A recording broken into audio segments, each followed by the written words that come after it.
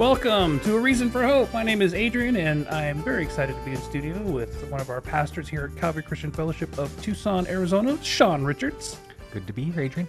Yeah, thanks for being here, taking these. Uh, typically, most folks have their Mondays off in church worlds because Sunday is a big busy day. So uh, we we get to be here, and we're excited to be live streaming. Today is, of course, our famed Apologetics Monday. So today we're going to be talking about a a kind of a philosophical concept called hedonism.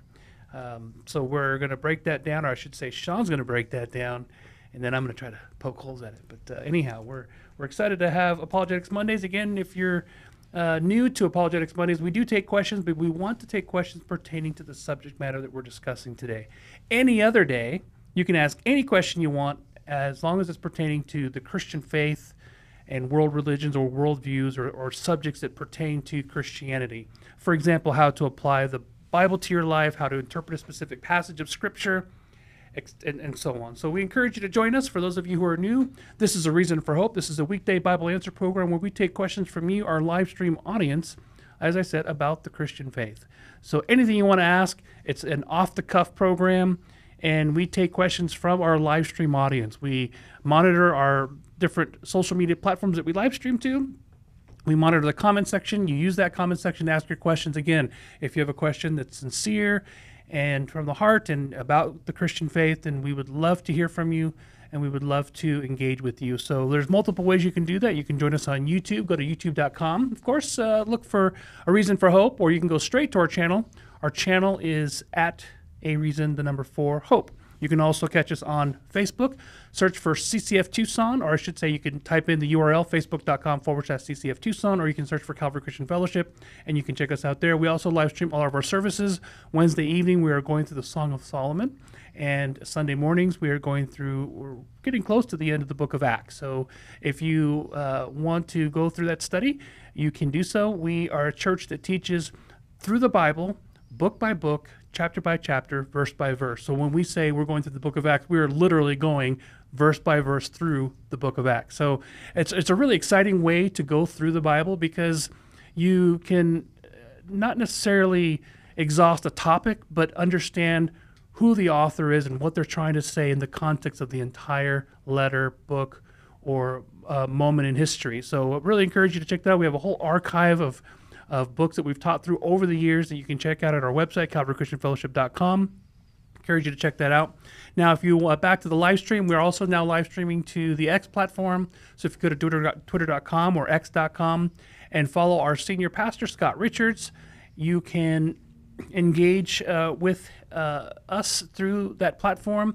So again, twitter.com, and the handle is ScottR4H. So just follow Pastor Scott. You can either DM or tweet and tag, and uh, we'll get the question that way. If you're watching the live stream from a Android device, unfortunately, when you if you're following Pastor Scott, our live stream will show up on the right hand side as a notification, and you can join.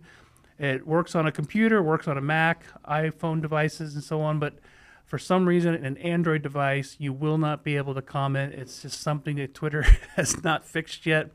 Uh, their whole live streaming system is relatively new and still a lot of bugs being worked out. But uh, it's growing. Its uh, its live stream capabilities are getting better. So if you're joining us on Twitter, then just uh, send a direct message. Again, today's topic is hedonism. If you have a question, as Sean begins to break that down, if you think of something, uh, tweet it out. Ask the question on Facebook, on YouTube we'll get to the question, we'll answer it, and uh, if we miss a question, we'll obviously get to it later on in the week because we do this every weekday, Monday through Friday, 4 to 5 p.m. Now, if you are one of those folks who does not want to be on social media, do not want to ask questions or participate on social media, I have a few friends like that. You can just go to our website, calvarychristianfellowship.com, join the live stream by hitting the Watch Live tab, and you will have a little comment box. It's not a social media platform. Uh, you can create a pseudo username if you want to make a comment or ask a question. There's a little comment box there, and you can do it that way as well. Now, if you also want to ask a question more discreetly, you can just email us directly. And our email address here on A Reason for Hope is questions at a reason for hope.org. That's questions at a reason, the number four, hope.org. That being said, we're going to take a moment to pray before we let Sean kind of break down the subject of hedonism. Sean, would you care? I'd be happy to. Dad, thank you that we have the chance to be here. Please fill me and Adrian with your spirit and allow the people listening to be ministered to, whether on the outside looking in from the Christian worldview or those who have embraced you. Allow your spirit to give them ears to hear and us mouths to speak your heart clearly, free from error, and in a way where this is applied to our daily lives as we are not only more thankful to you, but also more honest with ourselves about the things we look to in order to meet the need you designed us for. And we pray this in mm. Jesus' name. Amen. Amen. That is true. So hedonism, what is that word mean? It's a big one. Got a lot of material to cover, so obviously I'm going to be sticking to the notes as much as possible. But in light of the fact that at the time of this recording, it is the month of June, uh, a lot of retail companies and social media platforms also refer mm. to it as Pride Month. And uh, of course, Babylon Bee and others have referred to it as Dinosaur Month, which I'm more in favor of. We're obviously caught in the middle of all of the shenaniganry of pandering to groups that aren't necessarily necessarily in cohesion with each other, but for some reason are upholding common values. So obviously, if we were to just put LGBT on the cover, that'd get a lot of negative attention, but it wouldn't actually get to the heart of the issue that puts a distance between us and them as far as a Christian worldview and the LGBT worldview. The LGBT worldview, for the most part, is based around a principle known as hedonism, whereas we would use God's nature to determine right and wrong. There's like Jesus and there's not that. The hedonist worldview stems largely from the view of pain and pleasure, that this makes me feel good or this doesn't make me feel good. This doesn't make me feel accepted. This doesn't make me feel happy. Therefore, it's the wrong thing to do. Or you are in the wrong because you are causing bad feelings to take place.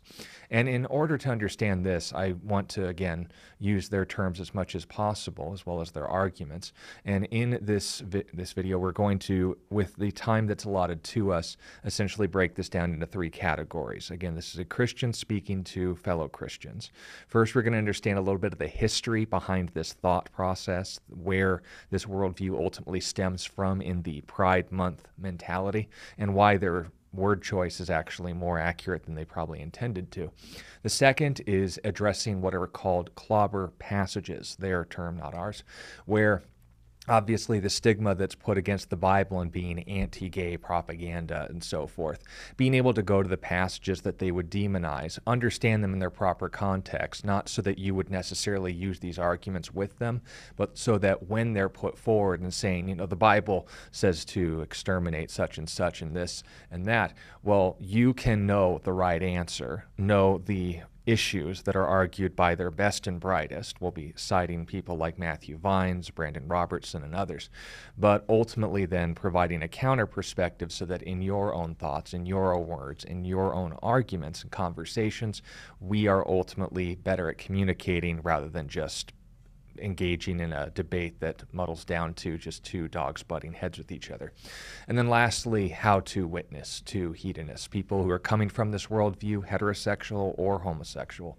They're ultimately viewing the world from a lens that is contrary to the gospel and can even be found among Christian circles. So we will start with the history. So there you have it. We're going to talk about hedonism from those different perspectives. Again, this is Apologetics Monday, so if you do have a question, I'll be checking those out. Thank you so much, Sean. We're excited about it. Go it. All right. So, starting with the history, uh, the most recent, I should say, most popular uh, voice of authority on what we are dealing with now today was due to the academic and psychological research of a man by the name of John Money. Uh, if you want to look up his main source, you can look up the Reimer twins experiment, uh, R E I M E R, where, of course, uh, twin brothers were born to a family, but due to a botched circumcision, one of the brothers was rendered without a functioning uh, apparatus for his male parts. And so they took advantage of this as an opportunity to perform a test as to whether or not nature or nurture determine gender identity. And with the advent of things like matriarchism or feminism, it was important for people to have supporting evidence to these assumptions that there is no masculine or feminine in roles in society. Society just determines what those things mean and are. And so the more evidence they had, the better. They gave this guy full free reign, which ultimately ended up in a prolonged attempt to molest and abuse the children, uh, force them into positions that were not appropriate for children of their age, and in order to constantly badger them and immerse them in things that would be considered feminine and masculine based on which role was assigned to them. Bruce was the unfortunate individual who's assigned the female role, and he now today has gone back to the original birth name of David, is happily married to a woman with children children, and of course is not a fan of the conclusions that weren't actually come to or weren't actually arrived at as a result of his research and his molestation of them.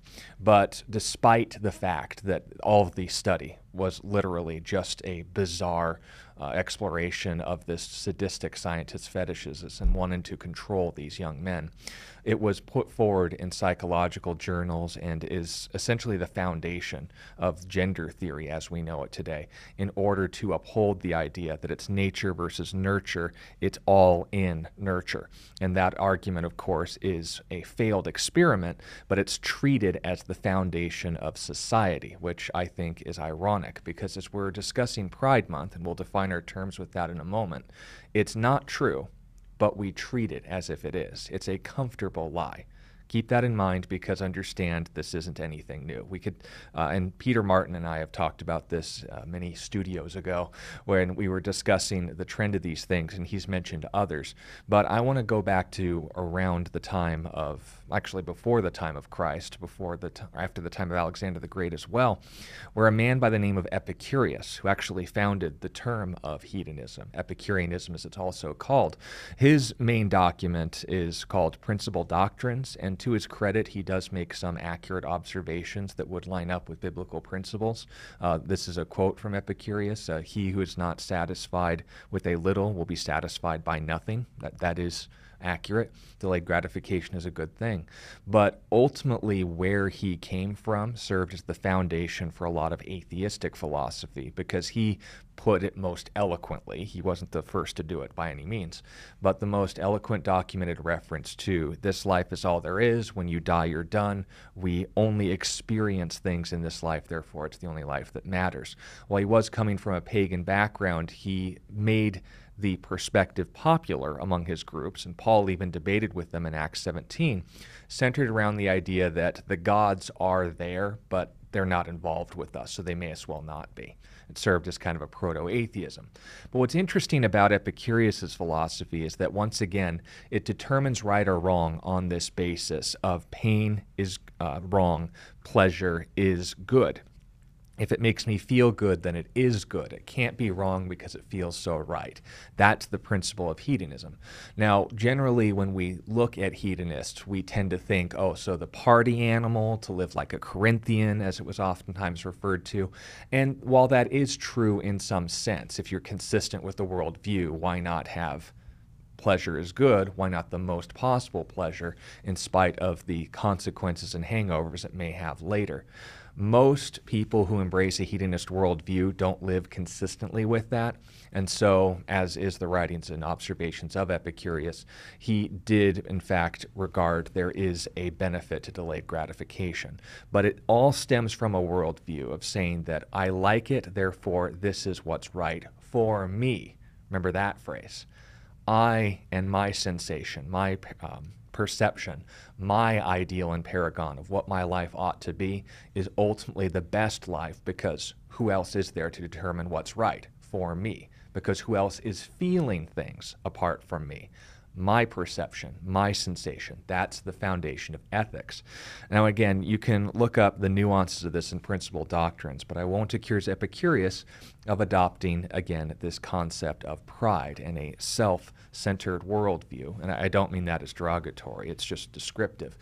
But when we go back to before the heavens and earth were made, this mindset and idea of pride as the foundation of one's character, culture, and worldview actually stems from an interesting individual. We refer to him as Satan or the adversary.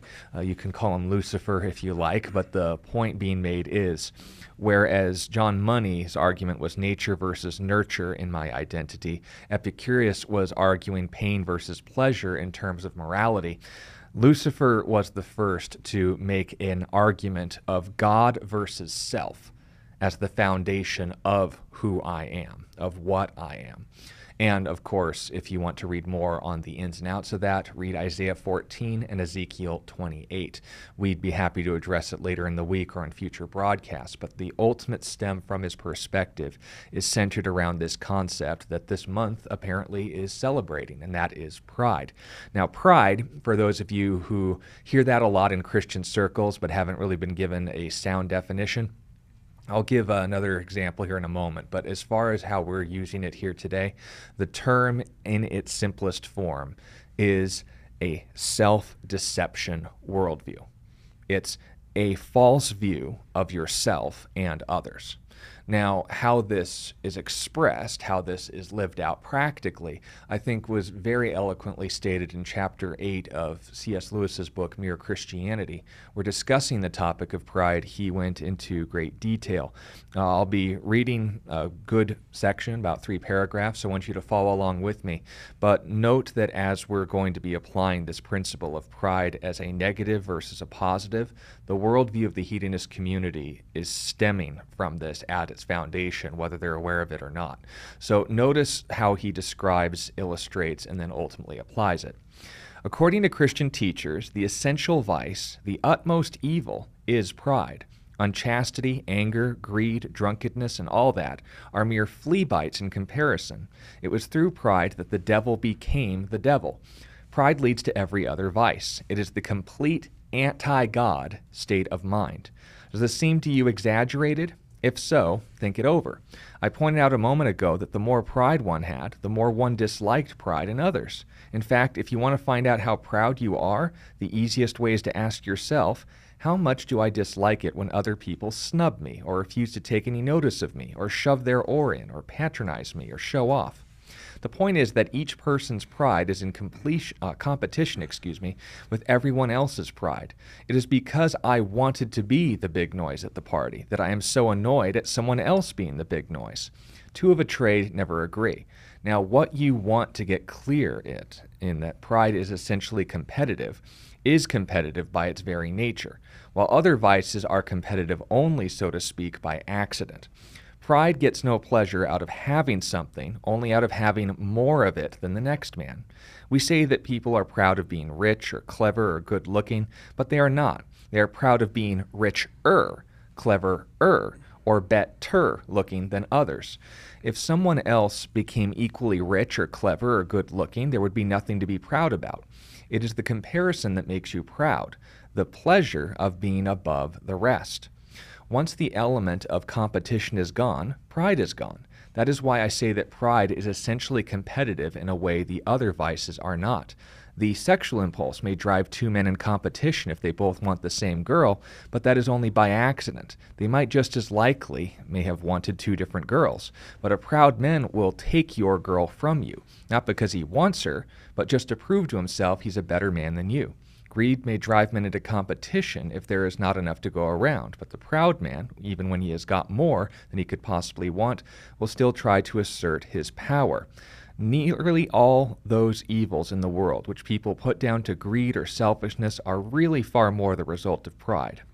He gives an example with money, but note the point that he's making. The power is what pride really enjoys. There is nothing that makes a man feel superior to others as being able to move them about like toy soldiers. What makes a pretty girl spread misery wherever she goes by collecting admirers? Certainly not for her sexual instinct. That kind of girl is quite often sexually frigid. It is pride. What is it that makes a political leader or a whole nation go on and on, demanding more and more? Pride again. Pride is competitive by its very nature, and that is why it goes on and on. If I am a proud man, then as long as there is one man in the whole world more powerful or richer or clever than I, he is my rival and my enemy. The Christians are right. It is pride which has become the chief cause of misery in every nation and every family since the world began.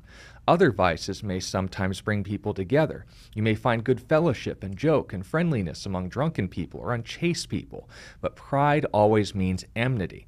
It is enmity, and not only enmity between man and man, but enmity to God.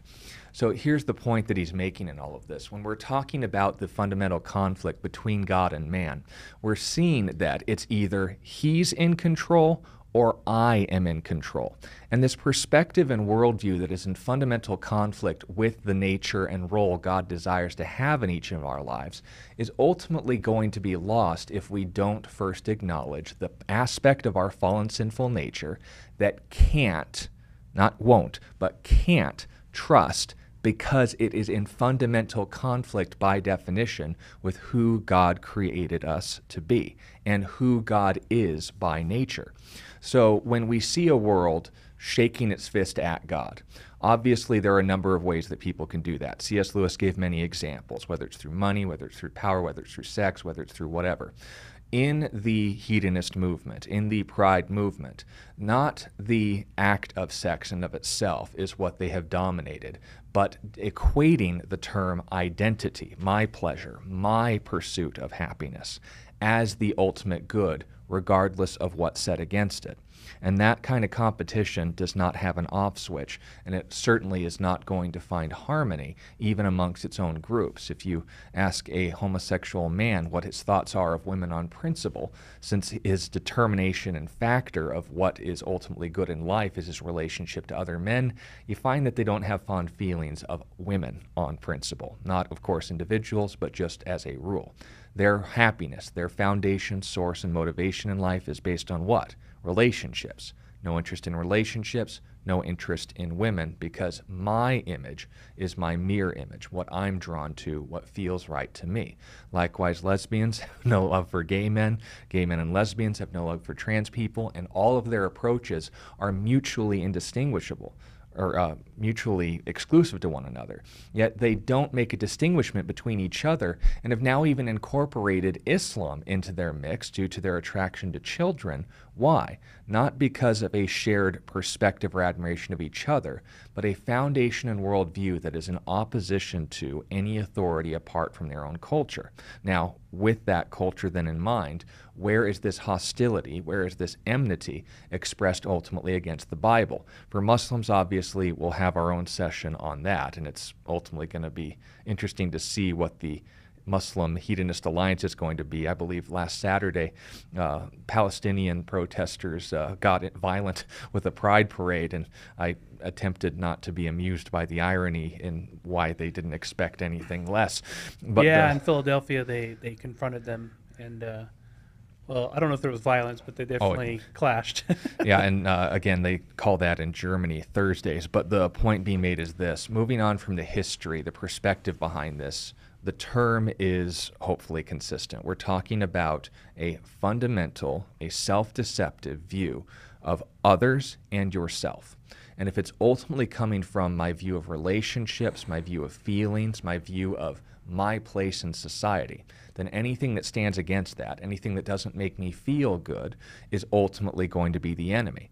And when the Bible makes opposition, say, for example, or exception to their choice of lifestyles, particularly in homosexual circles, there are one of two approaches either to throw the Bible out or try to coerce and convert the Bible into their way of thinking.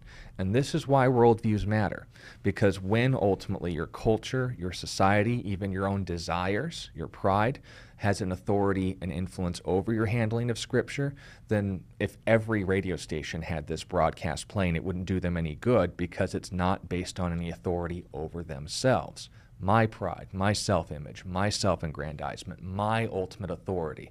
I will be as God, knowing good and evil. And that's why the first and ultimate interaction of Satan in sharing his character with us was the challenge Has God indeed said? So, moving on from history and understanding our definition and terms, notice how this affects their handling of the Bible. And when you are talking to people who are in this lifestyle, understand that these are the passages that are going to be brought up as an obstacle, as a smokescreen that need to be dealt with effectively in order to understand this. There are more, but I've chosen three from the Old and three from the New and allowing for their own representatives to speak on their behalf. Uh, this will be citing from the research of Matthew Vines, Brandon Robertson, and other scholars who call themselves Christians, believe it or not, yet redefine the Bible in the image of hedonism. The first, and probably the one you're most familiar with, is Genesis chapter 19 and verses 4 through 7. I'll read it plainly. Now, before they lay down, that were the angels that visited Lot, the men of the city, the men of Sodom, both old and young, all people from every quarter surrounded the house, and they called to Lot and said to him, Where are the men who came to you tonight? Bring them out to us that we may know them carnally. So Lot went out to them through the doorway, shut the door behind them, uh, behind him, and said, Please, my brethren, do not do so wickedly. Now, this is what they would consider a clobber passage because it presents the homosexual lifestyle in a negative light. Lot calls their actions wicked. But don't let that stop you. Brandon Robertson to the rescue. Uh, he would note that, and this is in his uh, argument from the article on Phileo, the act of homosexuality isn't explicitly condemned in the passage. And later passages only mention their pride and inhospitality as the reason why God judged them. They would note Ezekiel 16, 49 through 50, and Jeremiah 13, 14 as examples of this. The wickedness being mentioned was the fact it was non consensual relations, not the homosexual aspect in of itself. So, there you have it. They would give other verse citation to provide further context. They would note the condemnation of Sodom was listed in other later passages, and that seems like a sound handling of Scripture to someone who maybe isn't willing to look those things up. But when you look at Jeremiah 23 and Ezekiel 16, for instance, what do the passages actually say? Well, it condemns Samaria, the northern 10 tribes of Israel, and Judah, the southern two tribes of Israel for having things in common with Sodom. And here's where the manipulation of the text lies. Both, and, this is key, both of those passages, Ezekiel and Jeremiah, make comparisons to Sodom as wicked, but not exhaustively. But before we even go there, the act of homosexuality is explicitly condemned in the passage in the immediate next verse, Notice this. What's the dismissal? What's the argument? The issue wasn't being homosexual, the issue was non consensual. What happened in verse, uh, verse 8 of Genesis 19? Lot offers his two virgin daughters as a offering to the men of the city in exchange for the men because he wanted to be hospitable. That wouldn't be consensual now, would it? Now you say, oh, well, you know, underage, you know, if the parents consent and stuff, go the Daniel Haqiqatjou route. That's their arguments now. You can just throw up and walk away. But the principle is what? Where's the manipulation? Don't read more passages. I'm going to set terms for it that aren't actually in the text to make the text appear not to say what it's plainly saying. But let's again go to the other verse responses to give it for uh, more context when the argument is that Sodom's exclusive sins, and we talked about this in Bible contradiction accusations as well, are listing Sodom's actions as exhaustively adulterous, inhospitable, liars, and so forth. When you make a comparison, what is your standard for the quote unquote explicit condemnation argument? The burden of actual proof is on the individual who makes the claim, and the one making the claim is the hedonist to demonstrate from the text that lies, adultery, and inhospitality are the only things wrong with Sodom, and the reason those things were brought up. Because note, if you read the passages, the reason they were brought up is because Judah and Samaria had those things in common. And unless you want to argue, and this is the point, that no comparison between two topics is possible unless they have 100% agreement on all of their defects, then at the same time also argue that direct statements should be reinterpreted in light of entirely different contexts. I'd simply accuse people like Matthew Vines and Brandon Robertson as deceptive and this is key, the people who quote them as being misled. You need to catch how they're jumping between two definitions. Only inhospitality, lies, and adultery were, were condemned in Jeremiah and Ezekiel. Jeremiah and Ezekiel point these things out because Judah and Samaria had that in common. What's the leap? What's the assumption? That these were the only things wrong with Sodom ever. And there's others who can go to Luke 10 and note that unbelief was something also wrong, according to Jesus. Believers, unbelievers, what's the emphasis and point of Genesis 19? It's look over here, don't look behind the curtain. The second clobber passage is one that's probably the most direct. Leviticus 18:22, "You shall not lie with a man as with a woman; it is an abomination." Now, Brandon Robertson's approach towards this is a qualifier that Leviticus 18 actually starts in verse 3 by saying not to do all the things that are being mentioned, whether it's referring to incest, adultery, etc., the way that the nations around them committed homosexuality isn't being condemned as a rule, but the ritualistic and pagan way it was approached by the nations. So the issue isn't same sex attraction or even activity. The issue is having a pagan twist on it. And you're going to see this is basically the hermeneutic going forward of saying, don't look at what's obviously being said. Here's the point, though.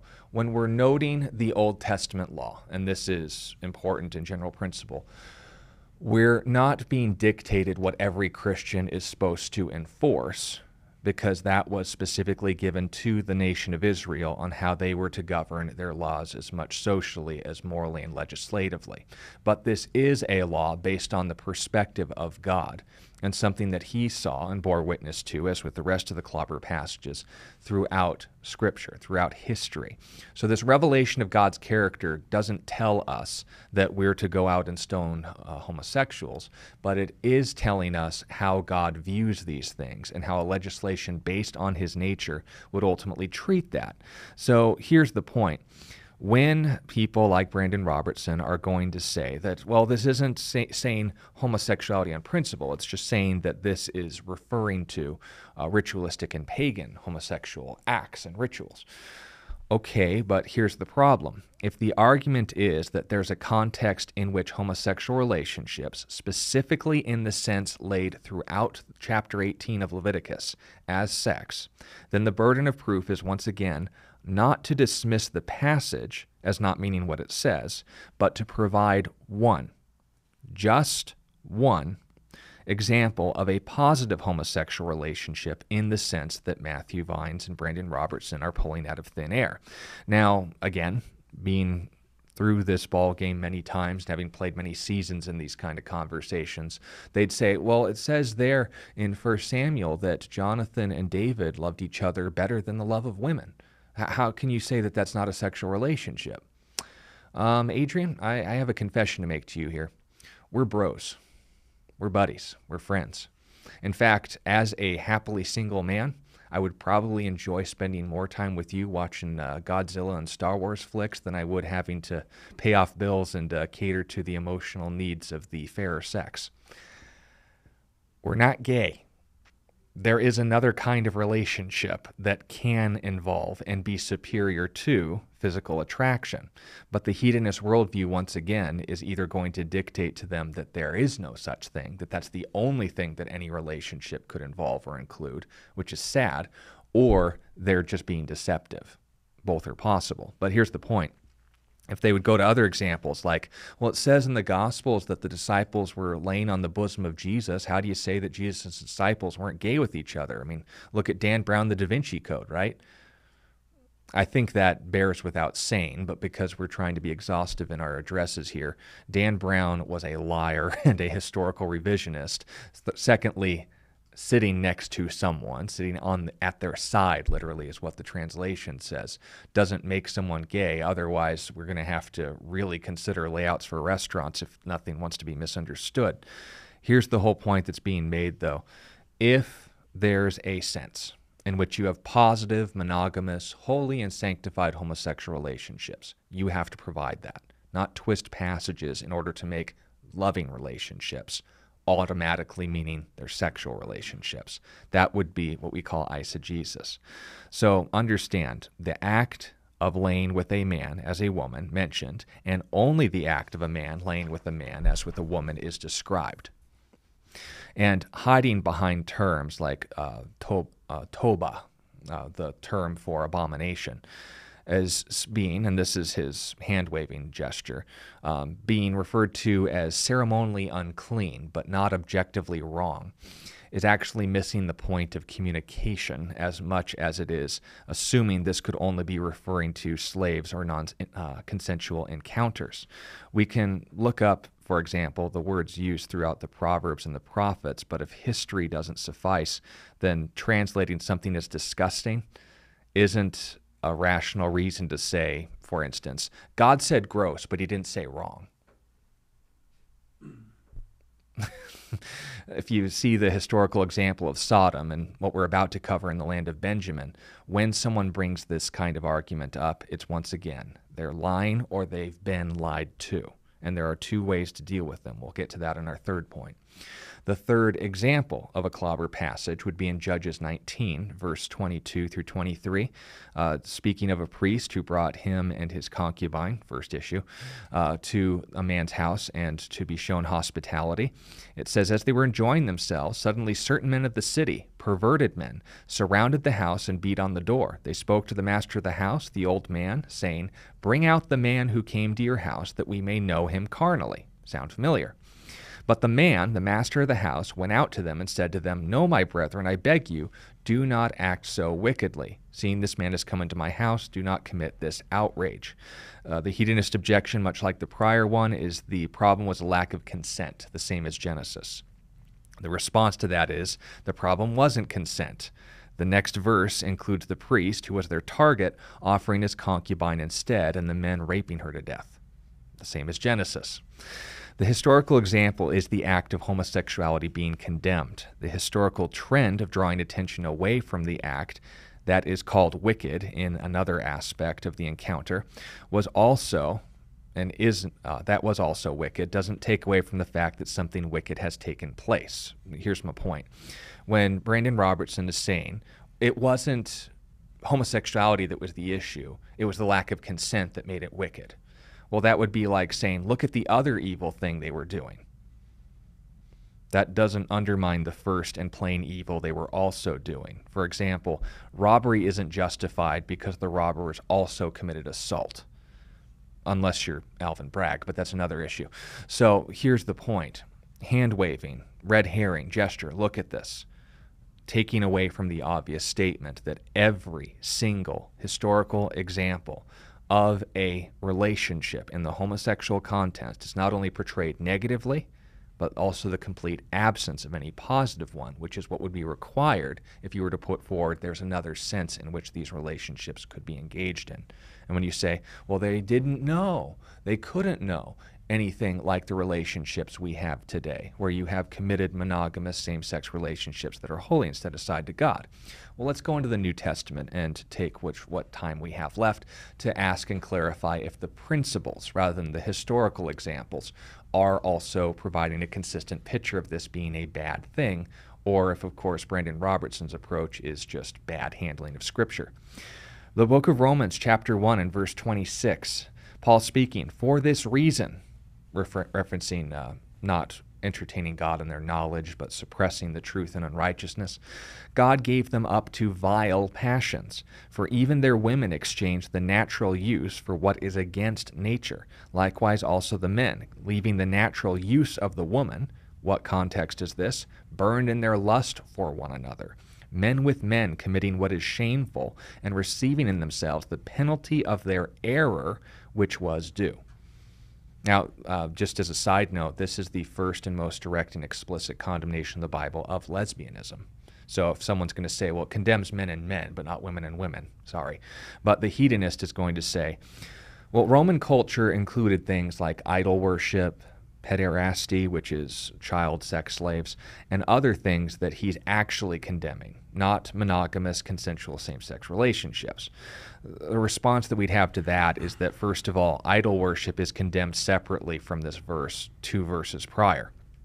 Trying to distance the audience from the obvious point and providing additional context where none is actually warranted shows there's an agenda dictating their handling of the text rather than just plainly reading it. We want to give a mind for an agenda that's ultimately at work here, but also for the historical context. But what we need within the passage or that's being clarified in other scripture is an actual example of what he's proposing is the exception. So understand that arguing from silence or assuming the Bible never addresses the subject the way we're doing it now is missing the whole point of communication and language. Everyone can come up with a bizarre exception to everything if they qualify it was never condemned with the explicit qualifiers they put on it when the entire category has already been condemned. That's the error here. There's another issue too that uh, women didn't engage in pederasty. No. So why would he s- include uh, female relationships if he's directly addressing uh, temple ac- uh, abuse of children? Or Probably because he's Uh, just addressing because in Roman, it was a little bit frowned upon in Roman culture, but in Greek culture, it was very well accepted for older men to have sexual relations with younger boys, especially, and, and of course, they're they're servants and slaves, male and female. Yeah, Uh, uh, the only thing that was shameful is if if a man took the uh, passive position rather than the aggressive position, and that would be considered, you know, taboo. yeah, there was a slur form called malikos. But to include women in this text excludes the idea of pederasty Yeah. because women did not engage in pederasty. It's not. It wasn't part of the culture because they did, could. it wasn't Paul's point. Right. Yeah. But the point is the plain sense makes sense. Therefore, why are you seeking another sense? You're putting forward nonsense. Uh, but with that then said, and moving on from Romans, Paul also speaking in 1 Corinthians, that was to a culture that had the temple of Aphrodite that literally built its economy on child prostitution, said in chapter 6 and verse 9, Do you not know that the unrighteous will not inherit the kingdom of God? Do not be deceived. So he's going to list off examples of unrighteous. Neither fornicators, sex outside of marriage, idolaters, basic principle other than God, adulterers, sex within marriage but not with your committed partner, nor homosexuals, nor sodomites. Now, note the potential redundancy in that. This is what they're going to jump on. Nor thieves, covetous, drunkards, revilers, extortioners will inherit the kingdom of God. This is where they'll hopefully stop, but will continue. And such were some of you. But you were washed, but you were sanctified, but you were justified in the name of the Lord Jesus and by the Spirit of our God. So, just as a quick aside, if you think that someone in a homosexual lifestyle or caught up in the cult of hedonism can't be saved, Bible disagrees with you. But we're not here to address the bad ideas of well meaning but ultimately misled Christians. We're here to deal with false teachers, of which they would say Paul's word in referencing homosexuals is arsenokoite, which literally translates as man bed. And It was it- a made up word too. yeah, well, it was describing something, but it didn't exist in the lexicons and uh, in the Greek language. And since no official definition exists, you can't explicitly conclude it's referring to homosexuality on principle, but the abuse of slaves and pederasty. Our response is, of course, pretending no official definition exists when Paul's dictionary was the Old Testament Mm-hmm. shows the real goal in reading these passages from the activists. They don't want to understand what's being communicated, they want to prevent communication from being possible and put themselves as an authority over Scripture based on their cultures and desires rather than the actual text. Yeah, because Paul- Paul was a Pharisee, right? Yeah, he took he took he was a he read the Old Testament in the Septuagint in Greek. Mm-hmm. He took Old Testament words, put them together to communicate precisely what he wanted to communicate. He could have chosen many terms from the Greek language that would have communicated the kinds of relationships that others have said was common in Greek culture and Roman culture. There would have been things like pederasty and so on. And he uses slave. the term malikos in referring to effeminate or sodomites. Yeah, so he takes an old the Old Testament Greek version to communicate precisely that the act itself is what's uh, what's at stake here, not any kind of relationship, but the act itself. Man, bed. with of course Leviticus 18:22 in Yeah. mind. But that's the whole issue. If Leviticus 18 doesn't count as what he had in mind when of course discussing this passage, then interpretation of scripture is now impossible until God graced us with people like Brandon Robertson to lead us into the true meaning of the human language. Not wanting to acknowledge the obvious as a hallmark sign of why they're ignoring verse 11 you are washed, sanctified, justified in the name of the Lord Jesus, as much as verse 9. They don't want forgiveness and restoration, which is the real sin that can't be forgiven. And that's the issue. Mm. Uh, the last one, and then we'll get into how to witness, is 1 Timothy chapter 1 and verse 9 knowing this, that the law is not made for a righteous person, but for the lawless, the insubordinate, for ungodly, and for sinners, for the unholy and profane, for murderers of fathers, murderers of mothers, manslayers, fornicators, sodomites, kidnappers, liars, perjurers, if there's any other thing that's contrary to sound doctrine. Now, you probably can already guess what methodology is going to say.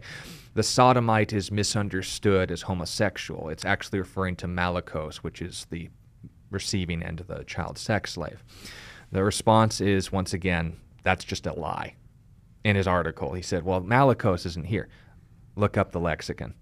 It's arsenokoites again. Lying about the original language is an insight. But with all this being said, what would be the actual argument? What would be the actual issue? Don't pay attention to the obvious. I'm going to make up this exception with a modern lens and say that this is something God approves of when I can't provide a definition within text, no historical example, no doctrinal example, just exceptions to obvious rules. But with twisting of Scripture in mind and showing that there is an actual desire to twist the text rather than present it, why would we expect anything different? Their worldview is what feels right to me, not what is true based on God's nature, even at the expense of my own. I don't blame them for that. But the question then is if this is a roadblock between us and ultimately where someone's going to be between receiving the gospel or not, any area of sin that's dominated someone's life and mind to the point where they'll only see the world through, and at any attempt at rationality on a position is going to dismiss it on principle, that's going to accomplish nothing. But this is military tactics 101.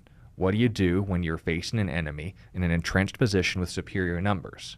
You don't make a forward assault. You go around. you get them to disperse. You do anything but the straightforward and obvious approach. Mm. So if you think, how do I reason with these people if they're just going to redefine everything that I say? Well, the answer is take an indirect approach, not a direct one. So, with the remainder of the time we have in the broadcast, and this is based on experience, three things that has not only allowed me to have people like Madeline, like Connie, like Will, like Nate, like others who come from this background but still remember and recognize that I care about them, mm. that I hmm. love them. Just a reminder, too, for those of you who have been asking questions, if it's not pertaining to the subject of hedonism, uh, save your questions for tomorrow. We'll get back to the normal uh, program Tuesdays through Fridays, but today's uh, Apologetics Mondays. Hope you've enjoyed the program so far. Uh, Sean, can you uh, continue, please? All right. Um, but just note the basic tactics. There's going to be three things that I want to discuss that, again, time and tested. This won't be like an immediate how to win the debate with them, but these mm-hmm. are the kind of things you need to keep in mind when talking to people. People I know that they will use terms where it says they don't see us as people. Here I am. I disagree with you. I still care yeah. about you. And you've been presenting this to a Christian. Like w- mm-hmm. what you've been sharing so far has been I'm I'm instructing believers who agree with me. So you're just pouring through the information quickly. Uh, you're not sort of setting an example of well, here's how I would say these things to someone who's coming from that uh, worldview uh, now you're going to address that. right. And when I'm addressing, say, for example, the worldview and perspective of a guy like Brandon Robertson, yeah. I can call him a liar because I've shown where he's deliberately misrepresented the text. Yeah. And people and he's, he's admitted as much, interestingly, it's a little side note, but now they, the, the, the tactic is to just say, well, they were products of their time. Yes, he did say that. He, you're right, he did make that clear. The Bible does say that, but the Bible got it wrong. Yeah, changed that's, in that's three the, years. That's the tune now. but that's the whole point. We can still treat someone as a human being and, of course, disagree with them. And that's something that not only we need to remember, but that's something that actually has to be explained, maybe multiple times, in fact. So, three things. The first is when you're talking to someone who's from a hedonist worldview, and this will be multitasking, by the way. If you're speaking to someone who comes from this perspective, this kind of rhetoric is going to be important when you're talking to atheists as well. First, understand the real issue here. When people turn to relationships, cultural trends, or anything else, they're doing it for a reason. The simplest way I can put it. It can be dealing with things like loneliness, loneliness, excuse me, and pursuing a sense of community. You see it very popular on the internet. It's an easy in. I just have to, you know, act flamboyantly or gruffly and wear some rainbow flags. Sign me up. That, of course, is a possibility, not a guarantee. It can also be a distraction from stress and anxiety through the adrenaline rush these things provide. Like any other addiction, they're turning to a form of medicine, whether it's the thrill in relationships, the thrill of pursuing their unique and specific bents and kinks and lifestyles. Not to be crass, but we are again talking about something that is by nature that is a possibility. And you need to be aware that people don't turn to medication unless they're trying to medicate. They're probably in pain. That is something that needs to be considered or it could be fitting into the mold of psychological trauma due to abuse in their past. Many prominent activists in the homosexual and hedonist community have acknowledged that, yes, I was molested as a child and this kind of shaped my worldview, but I understand it was the right thing for me. Well, here's the point when you're dealing with this kind of individual, when you're trying to scope the kind of person you're talking to, you see the you know Technicolor hair or flag or profile picture that includes pronouns, anything like that. The thing you don't do is profile them right away. You need to ask them questions and listen to their answers. And you can discover these things a lot faster than rhetoric or memes claiming that this is just who I am, or this is how I feel, or you're just trying to uh, abuse me, you're a homophobe, and all that stuff. That will never lead you anywhere. The three main things, again, that you need to be able to ask leading questions towards, not as a manipulation tactic, but so that you understand the person you're talking to is first social. They will ultimately, the reason why they're in this lifestyle is that they look up to people in this kind of lifestyle and want to be how they portray themselves. Notice not how they are, but how they portray themselves. I'm happy, I'm content, I just feel right. Who doesn't want that? But the problem is social media can filter out a lot as well. You need to be able to ask the kind of questions that are ultimately saying, okay, is this dealing with your need for a community? And of course, if you're getting around that issue, you need to be able to address this from a purely practical perspective.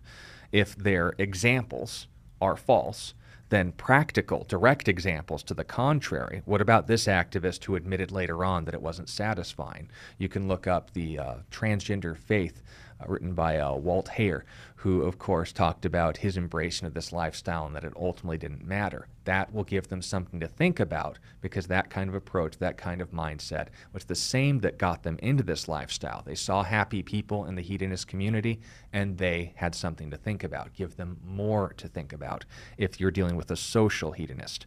The second is a moral hedonist, that they would see our culture celebrate these lifestyles and want the majority to treat them the same way. All I have to do is put my profile pictures and you know put up the rainbow flag, and suddenly I'm accepted, not abused on social media.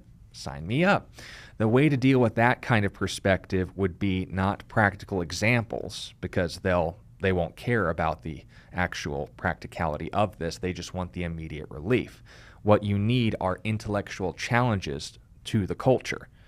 This is generally the approach that is taken towards all of them, well intended individuals, of course, online, but they're dealing with the wrong kind of person. You know, the, the circle goes in the circle, the square goes in the square. Make sure that you don't get the two confused, although I am told that the square circle works for everything. The last is personal, that they have been abused or mistreated by people with values, both on, on both sides, by the way, whether someone who was heterosexual abused them and so they distanced themselves from the male or female as much as possible, or people like uh, Dr. Spock, unfortunately, Leonard Nimoy, who admitted that he was molested, and of course that shaped his sexual worldview. That kind of person doesn't need contrary examples because they're the example That person doesn't need intellectual challenges, it's an emotional and personal issue. What they need is time and comfort, and you need to be able to ask the right questions and recognize what kind of person you're dealing with. So understand when you're talking to atheists, it's the same principle. This will, in fact, be good training for multitasking. The second issue that you need to be aware of are noticing assumptions not just the kind of person you're dealing with, but the way that they're speaking. You aren't obligated to play games by rules you don't agree to. And this isn't referring again to things like demanding you use their pronouns or the like. Not one. It's when they charge you with hating individuals when your disagreement is with a political movement. The fact you don't like a particular lifestyle is treated as despising a unique individual. That's not necessarily true. The reality is the political and religious group of modern hedonism has a playbook that needs to redefine every conversation they have, often multiple times in a sentence, and you need to be aware of this. This is why being polite and gentle ultimately amounts to nothing if the words you're saying have different meanings. Things to watch out for would be things like person an idea being the same thing. If I challenge your idea, that means I'm attacking the person. Clarify, that's not true. Morality equals feelings. You're saying that's wrong. You're hurting me. No, I'm saying that's wrong whether it hurts you or not. You need to understand that. Tolerance means agreement. Once again, you need to clarify that definition. And lastly, that love means acceptance. And by the way, if you're dealing with Mormons, Talking to hedonists is an excellent practice for that because they will also redefine many words that are foundational to your conversation. You can seemingly have a productive conversation, yet someone got upset when it seemed like you were speaking reasonably. Understanding their dictionary will come in handy for this. And then, lastly, to finish up with the last minute we have, treat and talk the way you'd want to be treated in an ultimate sense. Most people prefer to be handled gently, but can also appreciate when someone talked to them the way they needed to when they were out of line or caught up in something they later regretted. No parent is condemned ultimately for neglecting their kids because they thought discipline would hurt their feelings or mean when they weren't friends anymore. We're dealing with a group that chants and cheers in public, they're coming for your children and is so dedicated to challenging what they are taught as oppressive and evil that they'll embrace things that are so outright demonic in their nature, not just in dress, but things like Islam, even, and contrary to themselves, in order for the noble intention to be achieved to be on the right side of history. So understand, I don't want to personally be rude to people unless I know that they're lying to me. Then I would be more direct. But if you keep reminding yourself this person is deceived rather than deceiving you, give them the benefit of the doubt at face value, and it will be that much easier to understand when apologies are warranted for going too far and recognizing when pushing forward is necessary so that they are ultimately understanding their choices are hurting more people than they're helping, including themselves. Well, thanks, Sean, and thanks for tuning in today. For those of you who've been watching, we got cut out. We're having some technical issues here in the studio. Will hopefully be resolved this week, but uh, we'll see you again tomorrow. God bless you. You've been listening to A Reason for Hope. Thank you again for joining us as we continue our journey through God's Word, one question of the heart at a time. Until we meet again, we would love to connect with you. You can text or email your questions to questionsforhope at gmail.com. You can also find out more about our ministry at calvarychristianfellowship.com. And be sure to join us next time on A Reason for Hope. A Reason for Hope is an outreach ministry of Calvary Christian Fellowship in Tucson, Arizona.